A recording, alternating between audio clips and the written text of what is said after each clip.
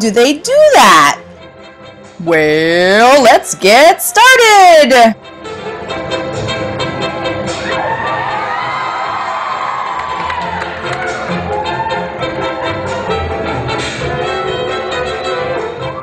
Well, you need a good story to make a good movie.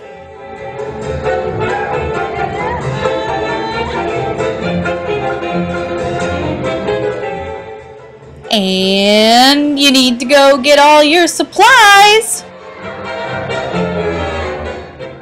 Now it's time for using technology. Open up frame by frame. Take pictures.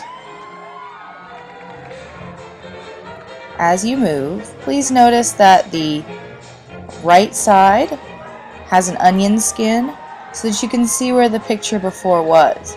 That way you can line up your next image.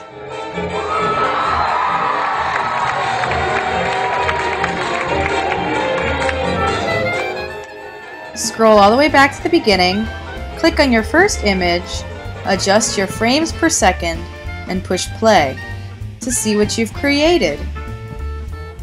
Adjust your frames per second accordingly, and there you have it. Go to File, Save, title it something memorable, make sure you are saving it where you wish to save, and then click Save. Let's try this! Well, everyone makes mistakes. Let's fix that with yet another button.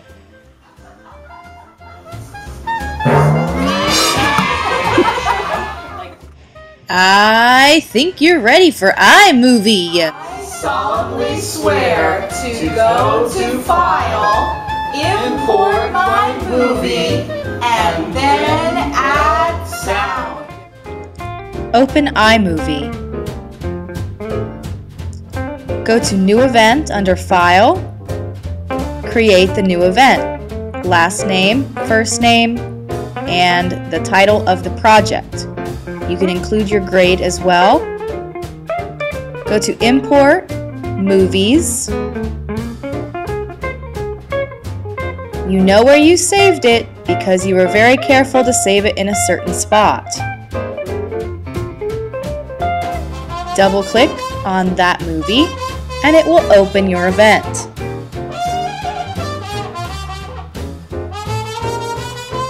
You can change your number of seconds viewed to break it down more.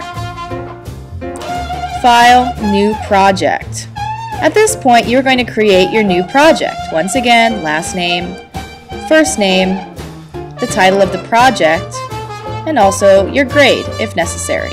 You're going to go to widescreen and also do 24 frames per second.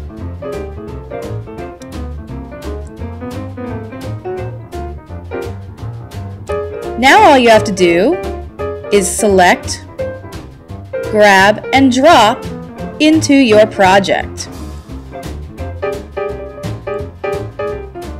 You can add music with the music button, drag and drop. You can add text under the T, drag and drop. It will give you some options you can select your type of text and determine how long it's going to be. Pick a font. They're pretty, color and size. When you're done, click Done. Now we're going to go on to transitions. Pick a transition and put it in between the elements in your movie. There are many different transitions to choose from.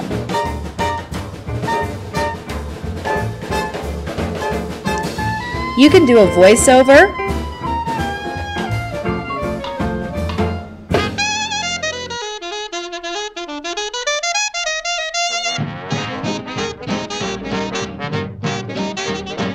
Don't forget to finish off your project by adding the starring roles. Go to File, Finalize your project.